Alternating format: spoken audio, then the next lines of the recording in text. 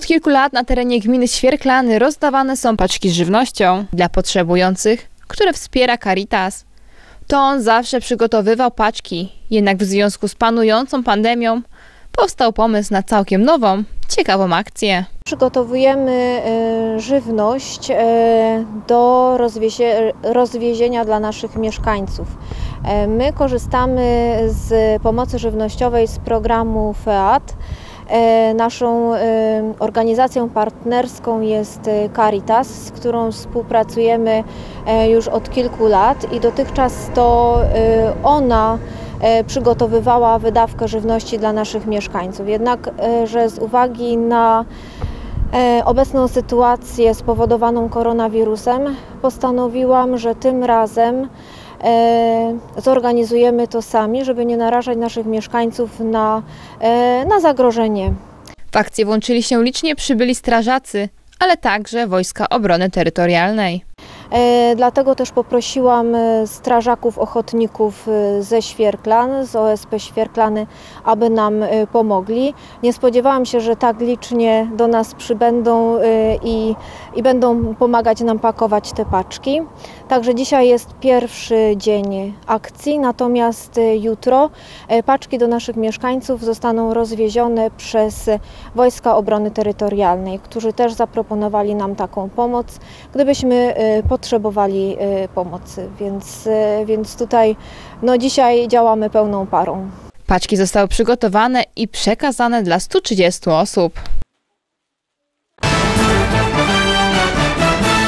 Gminny Ośrodek Pomocy Społecznej w Świerklanach informuje, że dla mieszkańców gminy, którzy zostali objęci kwarantanną, został uruchomiony specjalny numer telefonu, pod którym pracownicy starają się odpowiedzieć na wszelkie pytania związane z zaistniałą sytuacją oraz w miarę możliwości udzielają pomocy. Telefon pod numerem 883 960 066 jest czynny w godzinach od 8 do 19. Warto przypomnieć, że od marca bieżącego roku działa również bezpłatna pomoc psychologiczna online dla mieszkańców gminy Świerklany.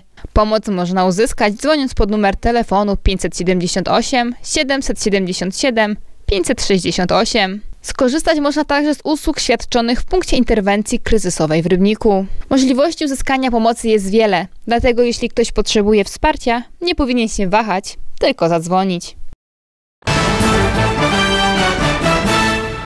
Zdalna Szkoła Plus to kolejny program, który oferuje wsparcie na zakup sprzętu dla szkół i użyczenie go najbardziej potrzebującym uczniom z wielodzietnych rodzin.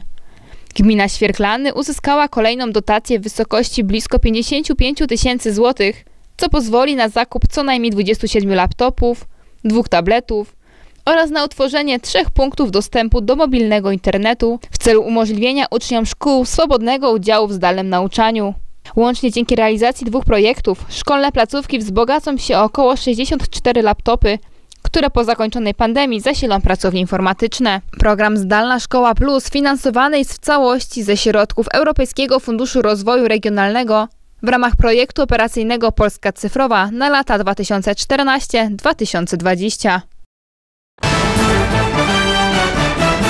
Niwea po raz kolejny zaprasza wszystkich do wspólnego budowania wyjątkowych placów zabaw, dzięki którym dzieci w całej Polsce mogą w kreatywny sposób rozwijać swoje niepowtarzalne talenty. W konkursie bierze udział także gmina Świerklany. Konkurs Podwórko Talentów Nivea jest corocznym konkursem organizowanym przez firmę Nivea, który ma na celu e, budowę w 20 wybranych lokalizacjach w Polsce e, placów zabaw. E, I konkurs jest, ma taką ideę, żeby było sprawiedliwie, jest podzielony na takie trzy części. I gmina Świerklany, która zgłosiła lokalizację na terenie gminy pod budowę takiego placu zabaw, e, startuje w kategorii miejscowości do 20 tysięcy mieszkańców. E, I wybór e, miejsca na wybudowanie placu zabaw polega na tym, że zlicza się głosy internautów oddanych na daną lokalizację w całej Polsce.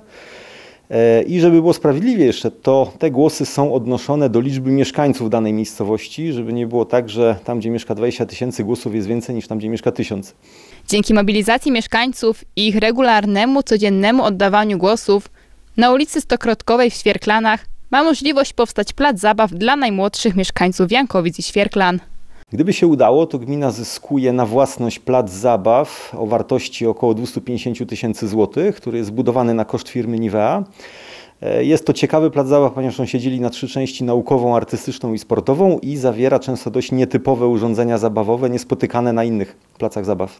Głos może oddać każdy. Głos może oddać każdy, kto posiada adres e-mail i głosowanie polega na tym, że najpierw trzeba się zarejestrować na stronie konkursu, podając właśnie ten adres e-mail, a potem raz dziennie e, można oddać swój głos na wybraną lokalizację.